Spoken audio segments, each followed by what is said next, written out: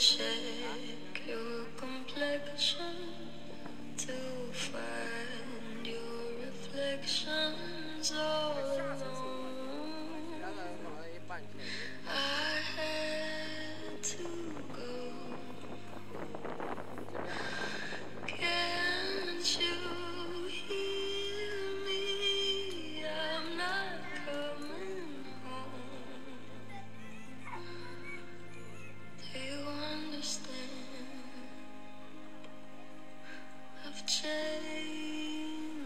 Thank you.